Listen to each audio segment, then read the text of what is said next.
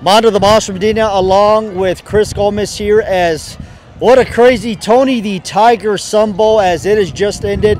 The Pitt Panthers come back and beat the UCLA Bruins by a score of 37 to 35 and Chris it looked like UCLA was going to be the team that was going to come back and win this game because they scored a touchdown to take the lead with under a minute left to go. I think it was maybe like what 40 seconds, something 40 like seconds that, and they came play. back, and it was just a crazy. Your, your thoughts on this game?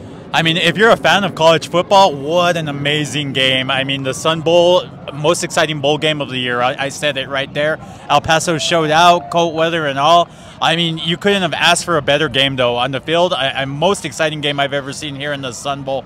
Uh, UCLA just looked like they clawed their way back, took the took the lead after the extra point by one. But credit to Nick Patti and that that that field goal setup drive at the end with, with under a minute left to play, no timeouts, and uh, Ben Sauls five field goals on the day in in the swirling win. What more can you ask for in a college game? And of course, Sauls got the uh, MVP for the uh, special teams player of the game. And of course, Pitt Panthers coach was talking about how the team didn't panic when uh, UCLA took the lead uh, with under a minute left to go. But if we can review the game quickly, it looked like UCLA was going to run away with this game because every time they were getting the ball, they were scoring touchdowns. Pitt was scoring field goals. You're talking about the five field goals that were scored in this game. So at halftime, UCLA had, uh, I think it was a 14 point lead, or at one point they're leading by 14 points, and it quick, it very quickly could have been 21 points, maybe even a 28 point lead or something like that. But a couple of the couple of interceptions by the Pitt Panther defense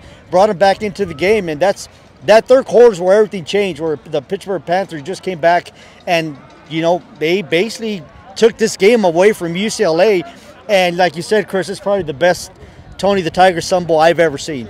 Yeah, credit to those Pitt linebackers, Johnny on the spot with those two tip balls in the red zone. Those are game changers right there. All the momentum going UCLA's way, and I mean to get those picks. Um, you know, DTR getting knocked out of the game late, Yep. but yeah, um, you know their backup comes in, leads them down for an improbable touchdown drive, and I, I mean, just yeah, you know, it's crazy because when they're on the other end and uh, Pittsburgh was to go for it on fourth, I think it was fourth down and go like maybe at the five yard line, and they were to go for it instead of kicking the field goal. But then you had the uh, offensive. Uh, False, you had the false start, and they're forced to kick the field goal. And people, I was telling people next to me is like, they need a touchdown. And like, why? They have a six point lead. I'm like, because UCLA can come right back and score a touchdown. And that's exactly what happened because remember, they had the fumble and they came back.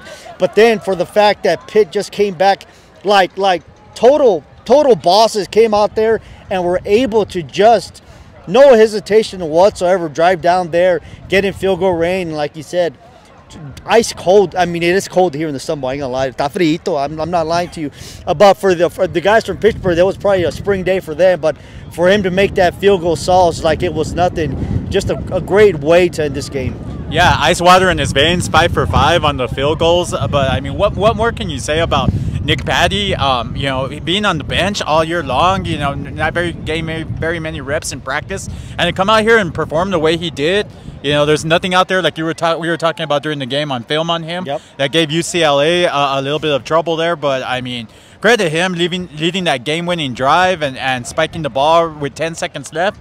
And you know that goes through the uprights. And credit to this this Sun Bowl crowd. Both sides were rowdy. I mean, it was an amazing atmosphere today. And, and like I said, the big winners are here, the uh, city of El Paso, and of course, the uh, the Sun Bowl Association putting together this game. Uh, finally back to normal. You know, two years ago this game did not exist. Last year it was a game that they put together to the last second because of COVID protocols, things of that situation. So, uh, big props to everybody involved uh, putting together. Bernie Olivas and his staff because a lot of people showed up and the weather was weird. You know, it was raining in the morning. Then it was at one point in the Sun Bowl the sun was out, the sun was hitting me, but it was raining at the same time. It was very weird, Chris, you know, but at the end of the day, the uh, the weather gods allowed us to have good weather for uh, and this is this is football weather, you know, and just a tremendous event. Yeah, absolutely. If you're a fan of college football, these are the moments you live for. This is why why we watch these games, why we show up, why we put those jackets on, layer up, and uh, I mean, you couldn't have asked for an, a most amazing Sun Bowl. So, you know. yep. So, so once again, the, the final score here, the Pitt Panthers come back and beat the UCLA Bruins.